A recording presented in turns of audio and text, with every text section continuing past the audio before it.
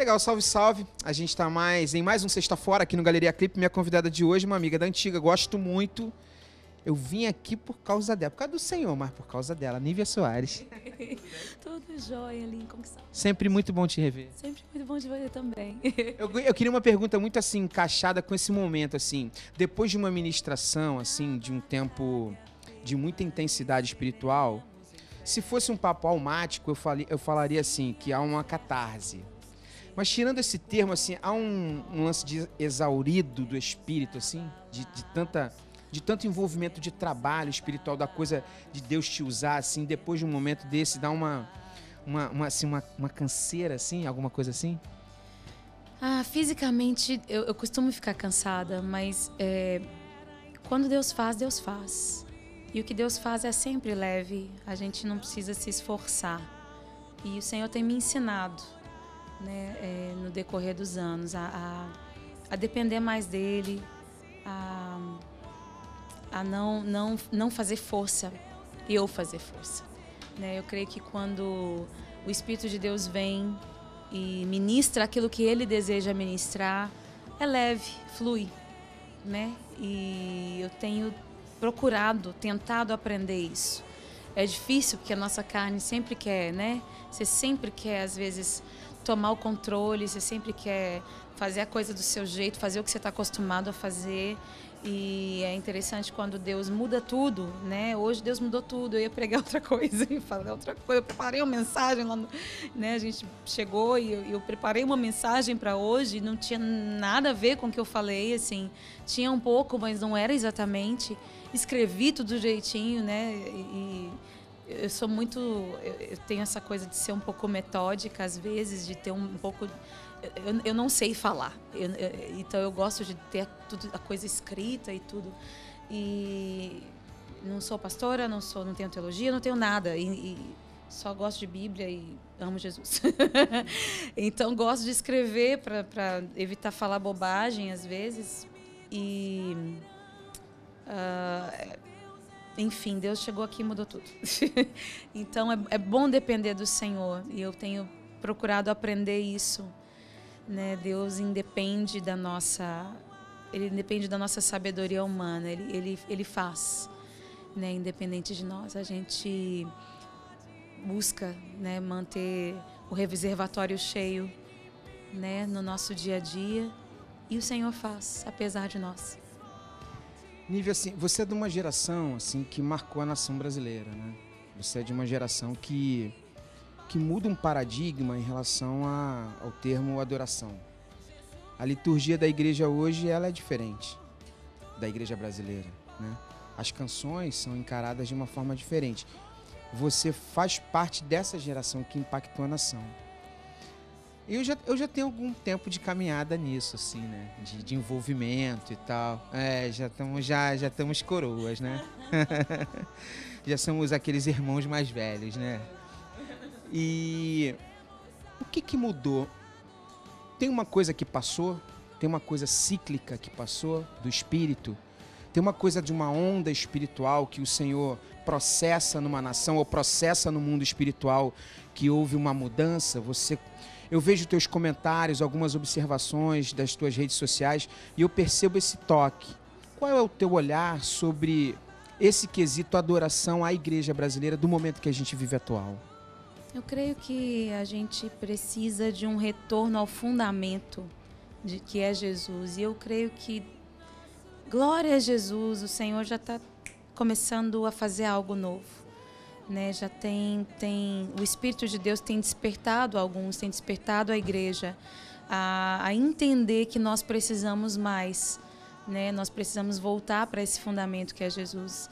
Houve um mover que aconteceu no passado e que se perdeu por causa pela falta do fundamento. Nós tiramos os mestres do púlpito e colocamos os ministros de louvor. Não é? Nós tiramos é, é, é, colocamos o mover de Deus, mas desprezamos a palavra. E eu creio que a palavra e o Espírito precisam caminhar juntos.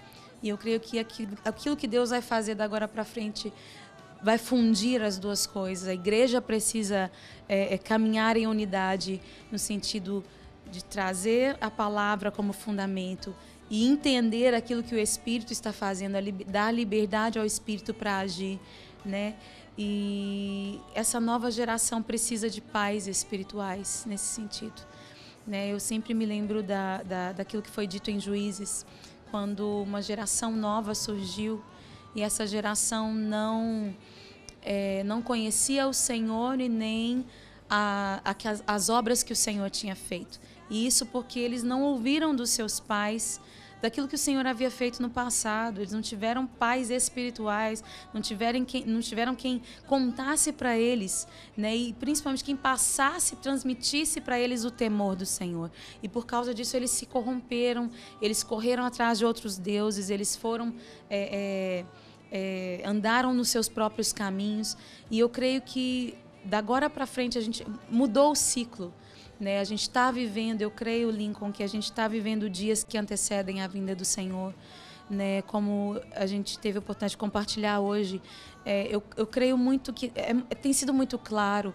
A gente não vai dar conta de viver aqui na Terra nesses próximos meses, anos, se a gente não tiver em plena conexão com, com o Espírito Santo e, e se a gente não tiver a luz da palavra em nós.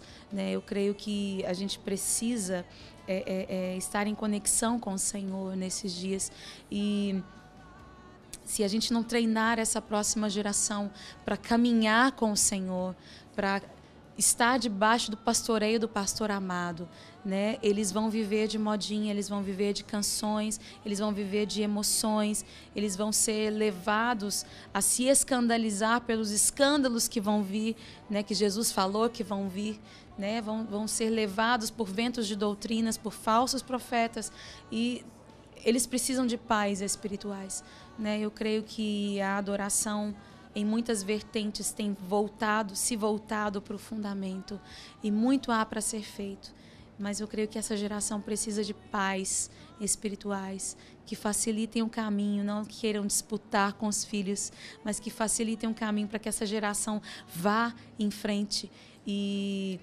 receba mais do Senhor do que nós recebemos na nossa geração, né? E seja desbravadora, né? É, é, a galera que vai peitar o anticristo, né?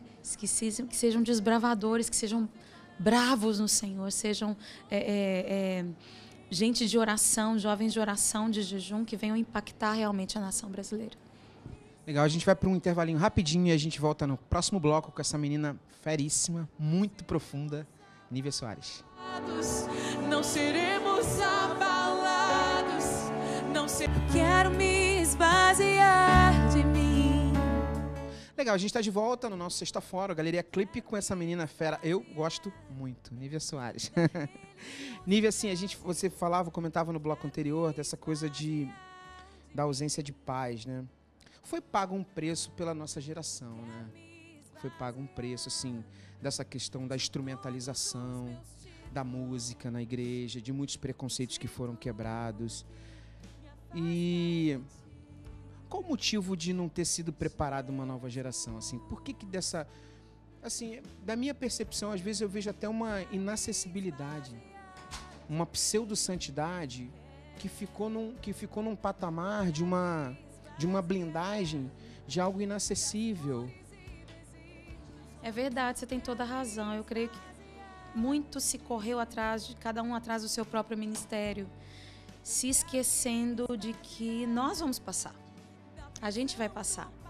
E Deus começou a me falar sobre isso há algum tempo atrás, alguns anos atrás, quando eu ainda estava no choro por falta de paz. E eu me lembro que um dos nossos pais espirituais, né, uma pessoa que era referência para nós, foi embora do país. O Dan Duque. Exatamente, o Dan e a Marte. E o Dan veio visitar a gente um dia. E ele chamou a gente para comer com ele e eu falando, ô oh, Dan, que saudade de vocês e tal, vocês estão fazendo muita falta, a gente não tem mais paz aqui, a gente não tem mais com quem contar e tudo. E ele olhou para mim com aquele jeitinho dele, americano de ser, meio brasileiro, e olhou para mim, filha, tá na hora de você ser mãe espiritual. Tem uma geração que espera para que você seja mãe.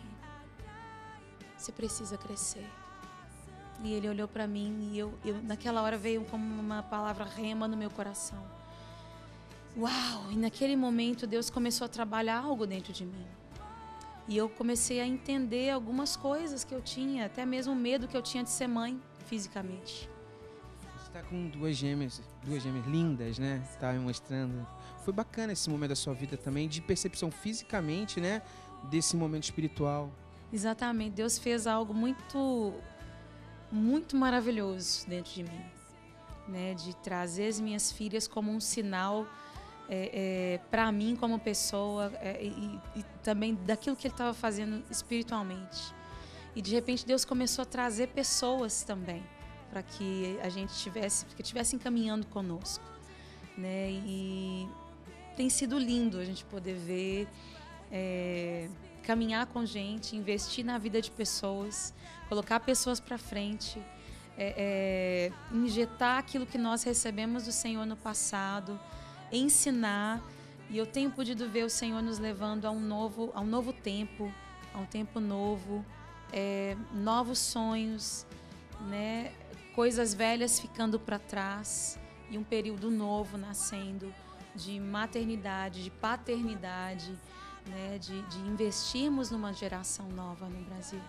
Né? Nós, a, a partir dessa consciência de que nós vamos passar, mas a palavra permanece e a próxima geração, Deus tem mais através da próxima geração.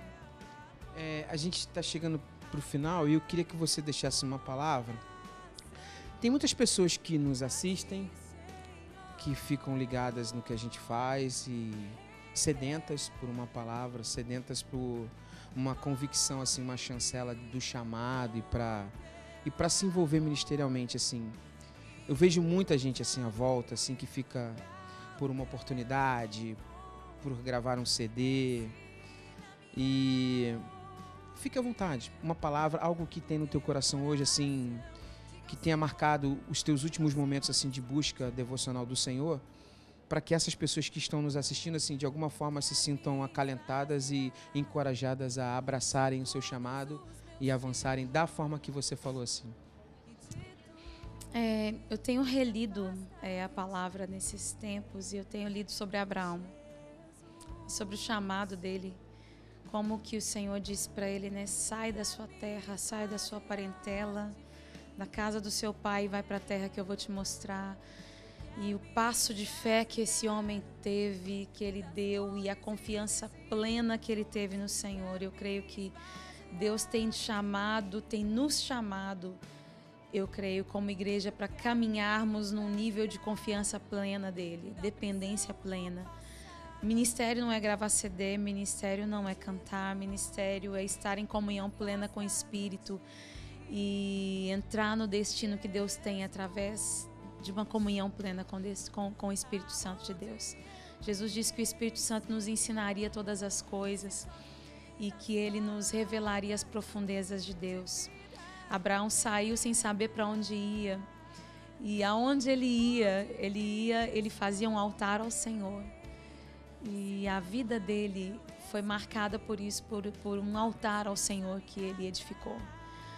E eu creio que a nossa vida precisa ser marcada por essa entrega completa, inteira ao Senhor. A gente precisa caminhar nessa conexão com o Espírito Santo. É tempo da gente entrar no nosso destino em Deus. E o Espírito de Deus deseja revelar para nós o que que vai ser. O que que qual é o destino que ele tem para nós como igreja, pessoalmente qual é o destino que ele tem para você. Isso é mais do que música, isso é mais do que é, aquilo que as pessoas veem a gente fazendo.